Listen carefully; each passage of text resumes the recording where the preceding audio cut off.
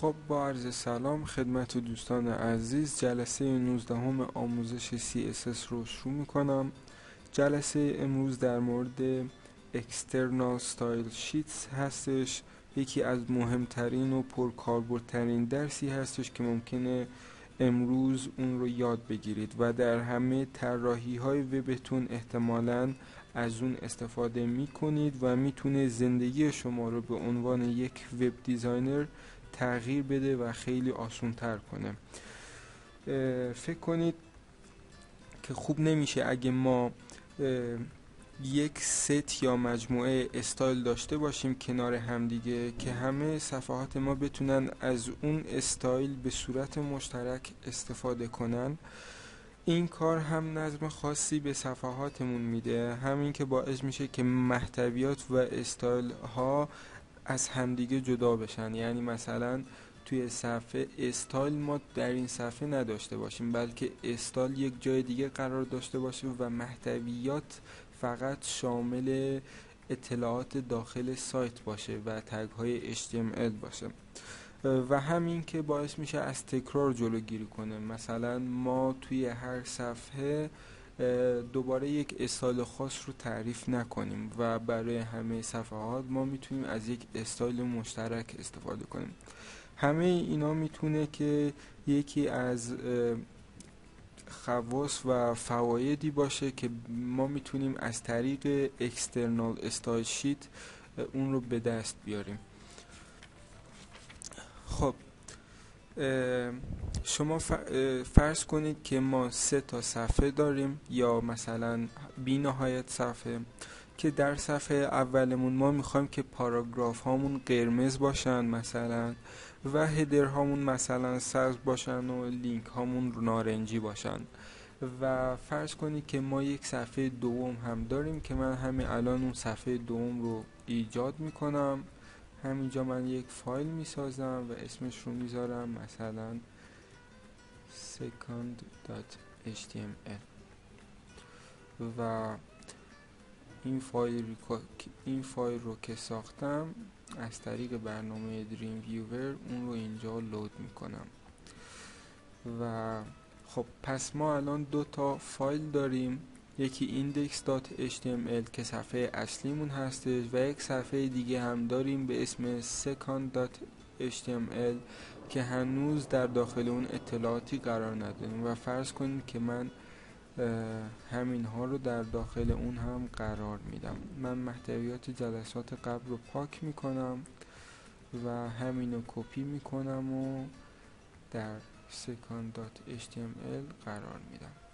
خب این رو هم ذخیره کنم. فرض کنید که ما در همین صفحه دوم هم ما دوباره همین چیزها رو داریم. مثلا یک پاراگراف داریم یا چندین پاراگراف و می‌خوایم که در صفحه دوم هم پاراگراف هامون قرمز باشن header هامون سبز باشن لینک هامون نارنجی باشن و سایر استایل هایی که حالا به دلخواه می‌تونیم اونها رو اعمال کنیم. آیا آسون نمیشه که ما یک استایل اصلی داشته باشیم که استایل کل وبسایت و همه صفحات رو در بر بگیره و فقط بریم توی صفحات و بگیم که از این استایل استفاده کن و به عبارتی اون استایل رو در همه این صفحاتی که ما دوست داریم فقط کافیه که load کنیم. یعنی ما فقط یک بار یک استایل رو بنویسیم و در هر صفحه ای که دوست داشتیم فقط بگیم که این استایل رو load کن و اون استایل بر روی اون صفحه اعمال بشه.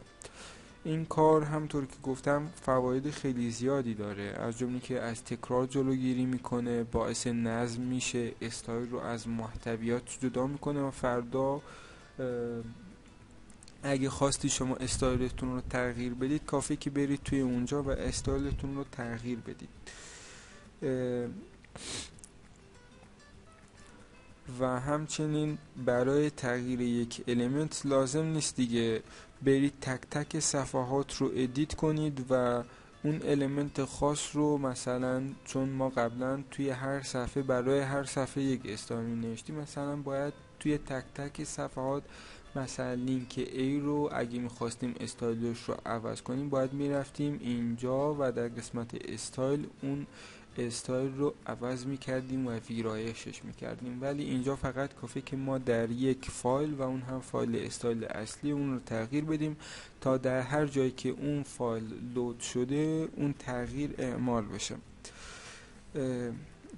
پس بریم یه صفحه ساده بسازیم و به صورت عملی مفهوم رو یاد بگیریم.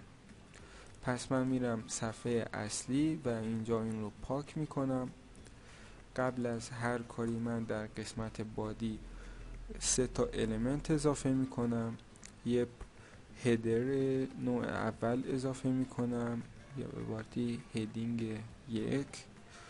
و اینجا می نیستم مثلا this is the indexed page. خب. و در اینجا مثلا یک پاراگراف هم اضافه می کنم و اینجا می نیسم this is a paragraph. My paragraph. خب و اینجا هم یک لینک اضافه می کنم و از طریق اتریبیوت href من اینجا مثلا قرار میدم http نه. اینو من اینجا به صفحه دومی که ما ساختیم لینک می‌کنم. پس اینجا قرار میدم second html و حالا من اینو میبندم و اینجا مثلا یک جمله بنویسم مثلا نویسم هاری آب کلیک می. خب لینک رو هم میبندم و حالا من اینو اجرا کنم تا شما ببینید. البته قبل از اینکه اینو اجرا کنم من صفحه دوم رو هم همینطوری می‌سازم پس اینو کپی می‌کنم و اینجا پیستش می‌کنم.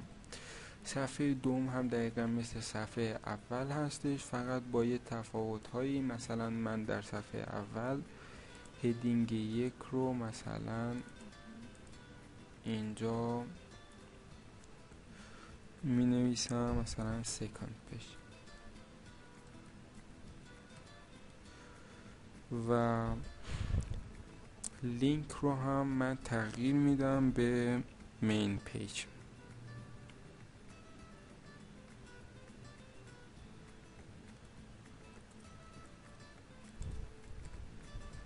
و اینو ذخیره می‌کنم. خب پس من اینو اجرا کنم. ما الان دو تا صفحه ساده داریم که البته من اینجا یه اشتباهی کردم. این رو در صفحه دوم ما لینک رو به صفحه اول میدیم. پس صفحه اول لینک میده به صفحه دوم و صفحه دوم هم لینک میده به صفحه اول. من اینو اجرا کنم. خب همطور که می‌بینید ما دو تا صفحه خیلی ساده ساختیم که وقتی ما روی لینک کلیک می‌کنیم وارد صفحه دوم میشه. وقتی که اینجا کلیک می‌کنیم برمیگرده به صفحه اول. هر دو تا صفحه بدون هیچ اصالی هستند و یک محتویات خیلی ساده ای در داخل اونا قرار داره. و حالا ما نحوه اعمال استایل بر روی اینا رو یعنی این صفحات رو از طریق خود صفحه یاد گرفته بودیم. اگه یادتون باشه ما در header اینجا مثلا اگه یادتون باشه می نوشتیم script و در داخل اون ما می گفتیم که چه استایلی داشته باشه. ولی امروز می‌خوایم که یک راه ساده تر و بسیار بهتر بهتون نشون بدم. ما یک فایل جدید می‌سازیم و اون فایل حاوی استایل و اون رو فایل حاوی استایل ها در نظر می‌گیریم. پس من قبل از هر کاری برم و یک فایل جدید بسازم. اسمش رو دلخواه مثلا من اسمش رو قرار میدم style dot style. و بعد از اینکه اسمش رو انتخاب کردم کافیه که یک نقطه قرار بدم و پسوندش رو قرار بدم. پسوند فایل های CSS رو به خاطر داشته باشید. کلا پسوندش هم CSS و اگه بخواید که بفهمید که معنیش چیه معنیش اینه که کسکیدینگ سایل شیت معنی این پسوند میشه. و من اینو ذخیره می‌کنم. خب حالا که من اینو ذخیره کردم ما الان یک فایل داریم به اسم install.css که اینو من میرم و در داخل برنامه Dreamweaver یا از طریق یک Notepad ساده می‌تونم اون رو ویرایش کنم. در اینجا یک تفاوت وجود داره و اونم اینه که ما در داخل این فایل دوباره نمی مثلا script و بعدش مثلا script رو ببندیم و در داخل اون استایل ها رو قرار بدیم. اینجوری عمل نمی کنیم ما اینجا فقط کافیه که قوانین رو paste کنیم. برای مثال من فقط کافیه که اینجا بنویسم h1 و مثلا color ش رو قرار میدم. برای مثال green و اونو ذخیره می‌کنم. و برای پاراگراف ها هم مثلا یک rule تعریف می‌کنم اینجا و برای مثال اینجا font family رو Tahoma قرار میدم. بذار فقط Tahoma باشه و حالا مثلا چند تا استایل دیگه هم من تعریف کنم. مثلا من color رو اینجا red در نظر می‌گیرم و font size رو هم 20 پیکسل در نظر می‌گیرم. خب اینو من ذخیره می‌کنم و در پایین من یک لینک برای لینک ها هم یک استاد قرار میدم. مثلا کلور این رو هم اورنج در نظر بگیریم. نارنجی و اون رو هم ذخیره می‌کنم. پس ما الان یک فایل استایل ساختیم که rule هایی که می‌خواستیم رو در داخل این فایل استایل قرار دادیم. مثلا heading های یک رنگشون سبز باشه پاراگراف هامون font ش family Tahoma باشه مثلا رنگش قرمز باشه و مثلا font size شون 20 باشه و لینک هامون مثلا فقط رنگشون نارنجی باشه و این فایل استایل ماست که حالا هر قوانین هر چقدر رول خواستیم ما می‌تونیم در داخل اون تعریف کنیم. و من اینو ذخیره می‌کنم. ما همه این رول هایی که برای صفحاتمون نیاز داشتیم رو نوشتیم ولی حالا نکته اینجاست که چطوری این rule ها و استایلی که, که اینجا ما نوشتیم رو به این صفحات بگیم که اونها این از این استایل استفاده کنن.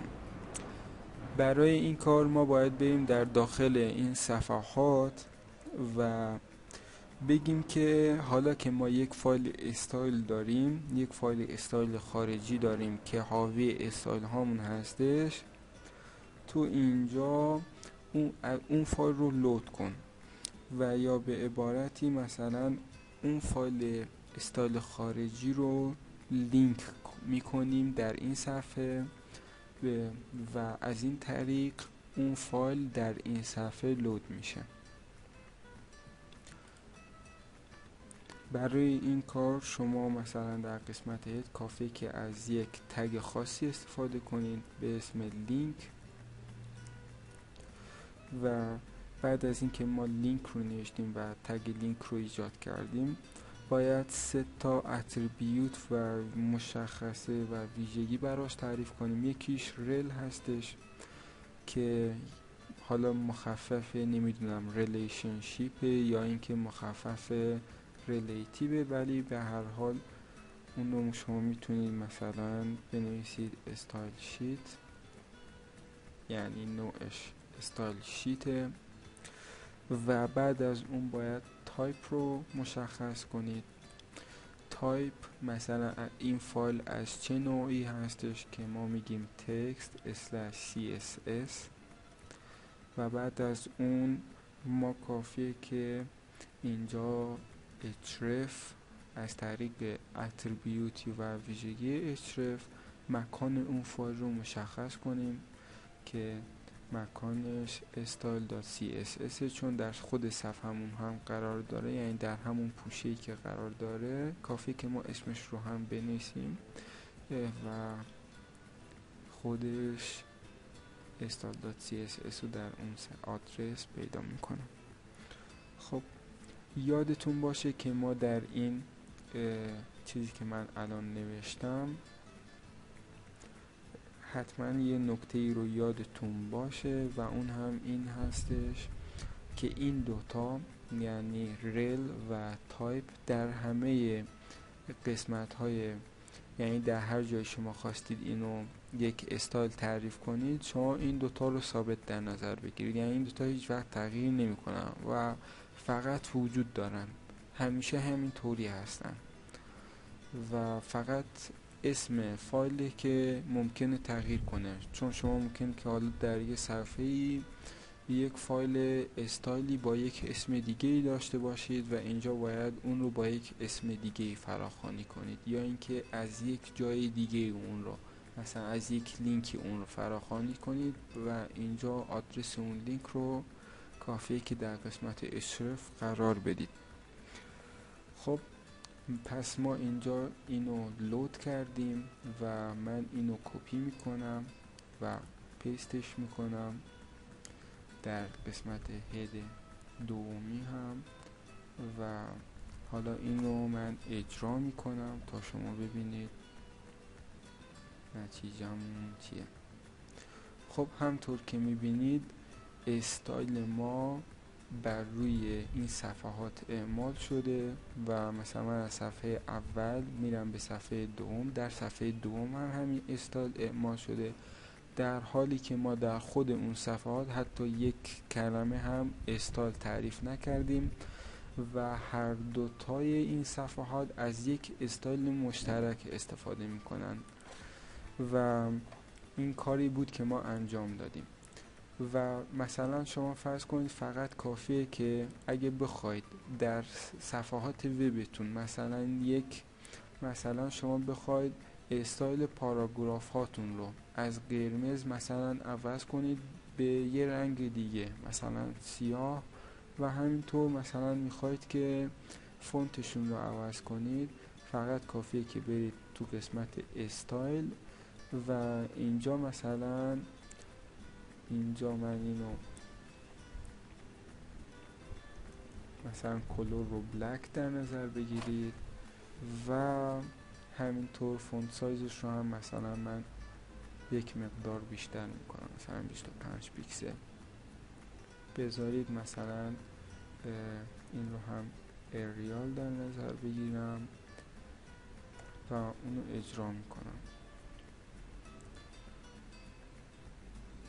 خب همطور که می‌بینید الان بدون فقط ما فایل استایل رو تغییر دادیم و با تغییر در فایل استایل این تغییر هم در صفحه اصلیمون و هم در صفحه دوممون بر روی پاراگراف ها اعمال شده. و این موضوع توی طراحی صفحات وب خیلی به دردتون می‌خوره و خیلی براتون مفید واقع میشه. و احتمالا در هر جایی شما باید از این موضوع استفاده کنید. جلسه امروز ما هم به پایان می‌رسه. شما می‌تونید ویدیوهای با کیفیت رو از سایت irسرزمین.com دانلود کنید و نظراتتون رو هم از طریق سایت irسرزمین.com به من بگید. یادتون باشه حتما اگر وبسایتی یا وبلاگی دارید شما آدرس وبسایت ما رو در وبلاگتون یا وبسایتتون لینک کنید و فعلا خدا نگهدار.